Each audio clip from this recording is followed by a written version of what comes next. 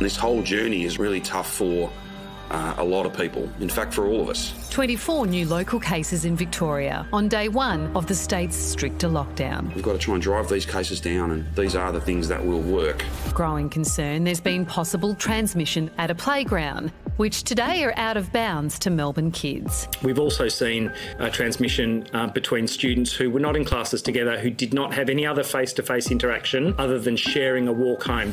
Three more cases connected to last week's illegal engagement party. The Premier fiercely condemning the online hate. The event that was not a function of being Jewish, it was a stupid function. It was an illegal function, not a reflection on the Jewish community. Anti Semitism is just pure evil, and we're not having that here.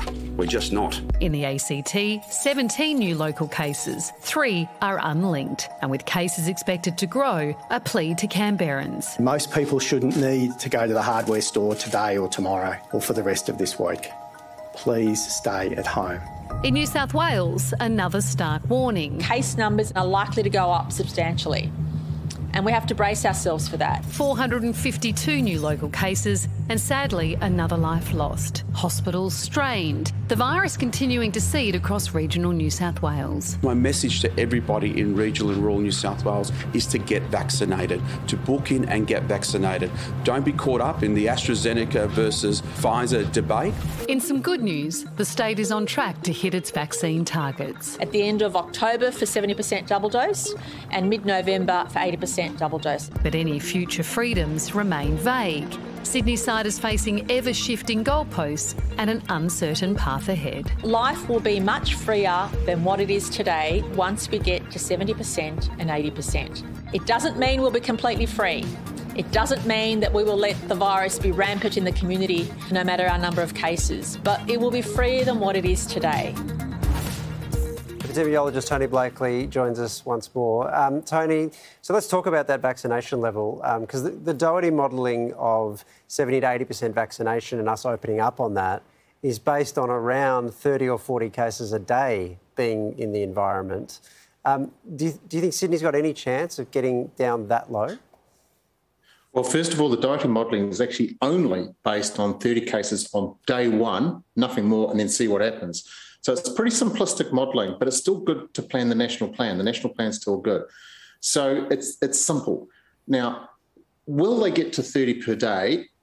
It will take until about mid-October under really hard lockdown, modelling we're releasing tomorrow, or February under a soft lockdown. So it's going to take a long time to get those case numbers down to that level.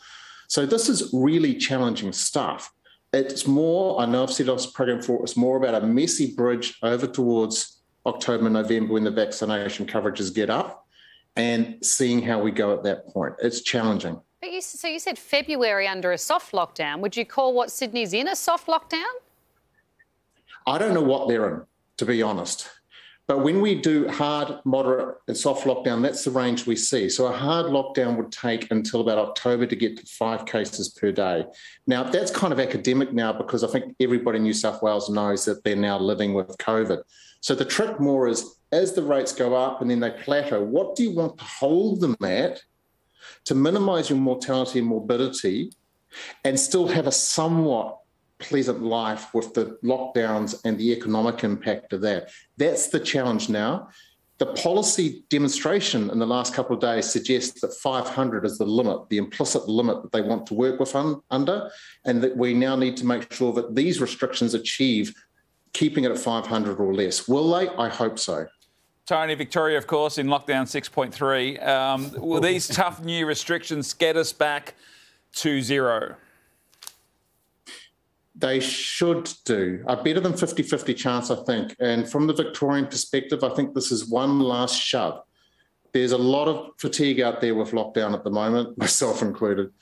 And we weren't achieving it before. We were seeing the case numbers static at five mystery cases per day and eight or 10 infectious cases in the community. So something more had to happen.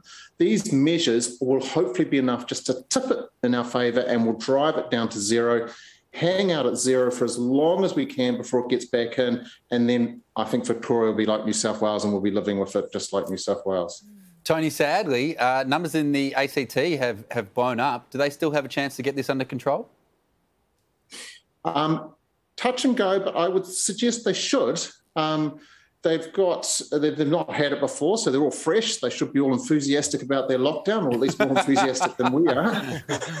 and they should give it a good nudge. But they are surrounded by New South Wales, so they must feel somewhat enclosed, if you like. They need to try and create their bubble within within New South Wales and ACT and try and live there. Will they get there? Better than 50-50, I reckon, but not guaranteed. That first lockdown's always a party, isn't it, Tony? Mm. It's always great. Thanks, well, it certainly is. Thanks very much for speaking to us.